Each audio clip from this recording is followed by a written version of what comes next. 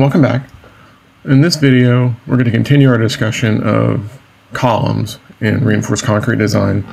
And more specifically, um, we're going to be getting into the consideration of columns that are subjected to both axial load and moment at the same time all right? And there's this unique interaction that occurs between those three and we'll we'll set up some methodologies for dealing with with this. It'll look very much like the Whitney stress blocks that we look back at beams but if we understand the stress on a cross section then we can very easily start to create these diagrams. Now we're going to start off by looking at something known as an interaction diagram first and then we'll move into like specific states within that interaction diagram. So this first video will be about kind of the, the, the overall view of what we're looking at, and then we'll get more specific as we move forward from here subsequent lessons. So without further ado, we'll get going. All right, so we're looking at um, interaction diagrams for RC columns, okay? And basically, the, the thought is, is that the analysis of a centrically loaded column shows that the behavior and strength calculations are rather complex with increasing eccentricity. Um, we're going to use a variable e that represents our eccentricity. And what we're looking at is for a column, if I draw just a quick sketch of it, we know that if I have a point load that is acting at this point on there, that would be concentric. Okay, but if I take this and I instead move it more out to here, and I call this as the eccentricity on this, this that distance e, and of course you would have the one matching it on the bottom, and we've got to assume that there's something for that load to be acting on, of course, to get into into our effect that as E increases, that load that's acting here puts more and more moment into this beam, and it starts to become more like a beam than it does an actual column. All right, and so what we're trying to look at is the behavior, the combined effects of axial plus flexural on this. And that's the premise because every column in a, in a, real world building pretty much is guaranteed to have some sort of moment in it in addition to the axial load that it's holding up. And it could have multiple moments, which would make it, you know, a biaxial bending kind of case. And we'll talk about that in a later video as well. But for now, we're going to define a couple of simple points on this, okay? Um, and kind of made a table to kind of define all of this. All right, and so the idea is, is that if we have this set of information, if I have an eccentricity and E value of zero, okay, and again, if we look back at our picture, we're saying that E of zero means that this load is concentric with the column, then the load that we're going to calculate is our nominal axial load is that P naught value that we talked about in the last video. And we'll, we'll bring that back around here in a couple minutes, um, how we calculate that particular value. And then for that, for this first case, Mn is equal to zero. This is what we call the pure axially loaded situation. All right. Now there is a special point on this curve that we'll show you that's called as a balance point, and we'll show you how to calculate that. That at this point, our nominal load has a special axial value, and our nominal moment has a special moment value. Okay, and this is called as a balance condition. All right, and this will be the point at which the steel yields and the compression fail at the exact same instant. All right, and you, have seen that before in flexure when we were talking about rho, you know, the reinforcement ratio and the balance reinforcement ratio. So you've kind of seen that before. Okay, and then the other extreme then is case five where E is infinity. So again, this load is moved all the way out to here. It's a pure flexure problem. The axial load has very little influence on this compared to the moment. And so then the Mn becomes equal to M naught, and this is the pure bending case. And then there are a couple other points that are kind of in between that are kind of not real specific on where they're located, but just kind of give a general sense of the type of there. And I'll point those out on the next page when we sh actually show you what all these relationships look like. Okay, now, so we've got those. Let's take a look at kind of what happens when I start to put all those parts together. Get that out of the way.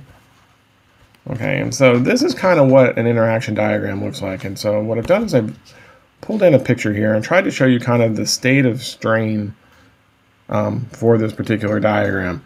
All right, so what we've plotted here is I have my axial load on this axis, and I have my nominal moment on this axis, and my capacity curve that identify those five points is these guys. So this was point one, this would be point three, and this would be the fifth point. Okay, so this is my pure axial, this is my balance, and this is my nominal moment. Okay, and so what we look at as we start to look at that, and then the other two were was a point that's arbitrarily between one and three, and the other one was a point between three and five. Okay, on this line, this indicates that it's a compression failure that we're not yielding the steel. Okay, that it becomes more of a of an axial, you know, compression type member, and down here is more of a flexural member, you know, in which the steel yields. Okay, that we and that we're able to reach an ultimate moment capacity like we've always thought about being able to do. All right, so but what we want to kind of show is kind of show what happens to the stress diagram when it's pure axial. The strain diagram looks like this on a cross on the cross section. So, you know, if we imagine that we're going to draw, you know, our cross section on this, and then the corresponding strain for this, for the pure axial case, you know, would be something that looks like that, right? And now, for our column, columns typically have steel on at least two faces and sometimes more, depending on how it lines up. This picture still represents the same scenario. So what happens is, is that the load, when it's pushing in a pure axial case, is located concentrically at the middle, I get a uniform strain at all points in the cross section that it's uniform. Okay, and so then as we get to the scenario where we get to a balance point on here, then just like we had with the flexure balance case, we reach epsilon Cu at the exact same instance we get to epsilon Y here. And you'll notice it has a unique point in that this is the maximum moment location, this balance. It doesn't ever get any higher than that. But the axial, uh, the axial load case can go significantly higher, but the I think I said axial moment, but the uh, the moment is the highest value here. Okay, so we want to kind of figure out where we're at. Now, that doesn't mean necessarily that I want to design for this. It kind of depends on, well, do I have more axial load than I do flexural load, and so forth and so on. Okay, so we're going to kind of show you kind of how to construct these diagrams here as we work through this packet.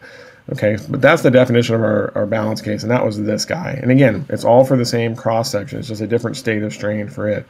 Okay, and then the M naught then is the case where epsilon s, um, where we get into a pure bending scenario, okay? And our epsilon s is what much, much, much greater than epsilon y, and we can go through and do some things with that. And again, I'll show you how to calculate those.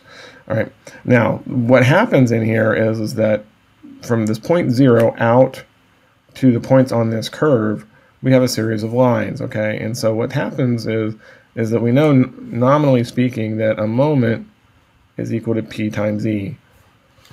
All right? And so if this is the balance, then I can put b subscripts on all of those pieces. And so that there is a relationship. And that comes from, you know, relocating the forces, if you will. If I have, you know, a moment that looks like this, you know, where I have an m and a p, I can replace that with a single p load it's measured at some distance, e. And by moving this force out, this concentrated moment, I can replace this with an equivalent single force system on those. So this is a little bit of statics review as we start to kind of look at, at that behavior. So, so that's kind of where we're going, and that's what all these represent. Well, the E lines are the ones that go from zero to the various points.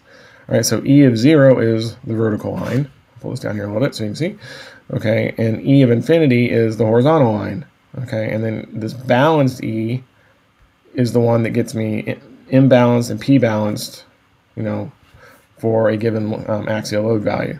Okay, and so that's EB. So what we can do is we can now, if I can figure out what EB is, then I know that zero was here and balance was here. So let's just say that this guy was eight inches. You know, the balance was eight inches and this was zero. If I can figure out that my eccentricity is four inches, I know I'm up here somewhere. Okay, and that that is a compressive failure state you know, in the concrete, that it's more of a column than it is in a beam, and that becomes one of the checks that we can do for it. And likewise, if we go beyond that and say E is 100 or something, that puts us down here somewhere, and now I'm into a tensile failure state, and it's acting more like a beam than it is in a column. But there's this play that exists for an axial load and a moment that is defined by the shape of this curve. Now, every reinforcement in a cross section, every reinforcement arrangement changes this curve. And so we'll show you some design aids, you know, in a later video of how we can kind of start to work with this stuff. But it's kind of an interesting idea. It's kind of a map of all the possible outcomes in the life of a reinforced concrete beam. So I find it kind of interesting. But this is the point that matters, that balance condition. We've got to have it because that sets our reference, just like what we did with the flexure problems, you know, a few videos back. Okay. Right. So we can go through, let's flip over to this. Now let's talk about how we can kind of determine the values of those points. Okay, so kind of what we talked about in the last video, the maximum strength and axial compression is that um, can, can kind of be summarized as follows. Since a truly concentrically loaded column is rare, if non-existent, some minimal eccentricity should be provided for. The accidental eccentricity may occur due to ink conditions, inaccuracy of manufacture, or variation in materials even when the load is theoretically concentric. Okay, basically it's saying that for any column that's built, there has to be a minimum eccentricity applied. Now, back in the day, it used to be 5% of the smallest dimension, okay, for a tied column and, or for a spiral column, and then for a tied column, it was 10% of that of that dimension, depending on the bending axis. So it was a pretty significant because you know when you put up a set of forms for a reinforced concrete column, maybe they're not perfectly vertical, maybe they're slanted a little bit. There is some eccentricity in there. Different codes require different different amounts, and you know the ASCE seven, you know the minimum design loads document even talks about a minimum eccentricity in there that we should be considering. Okay, so um, what happens is is that you know since 1977 the ACI code has prescribed, and this is section 22.4.2.1, that for members where slenderness may be neglected, the maximum axial load, the nominal strength, if you will, may not exceed 0.8 p naught for tied columns and 0.85 p naught for spiral columns. This was what we talked about in the last video, that tied columns are treated differently than spiral columns. Now, from the, the, the current ACI code, this is the table where all that starts to show up. So you can see that for non-pre-stress, and we have ties, it's 0.8 p naught. And for spirals, it's 0.85 p naught. That's where it's coming. Now, if you get into pre-stressing, things are those two values are still the same, but there are some other considerations that come along with pre-stressing with regard to the moment that you would have to also uh, uh, conclude. And then if you have a composite structure, whether it's a steel core or a steel jacketed column, then it's just 0.85 P naught. It gets treated kind of like a spiral. Okay, so once you have this, you pick off the one that you want for the coefficient, and then you can come in and you can calculate the actual P naught value. And this is the formula I gave you guys last time. It's 0.85 F prime C times the gross area minus the area of steel plus the Fy of the column multiplied by the area of the steel. Okay, and so again, if you're if you're not understanding this formula, take a look at our last video and we can help you out with that as well. Okay, all right.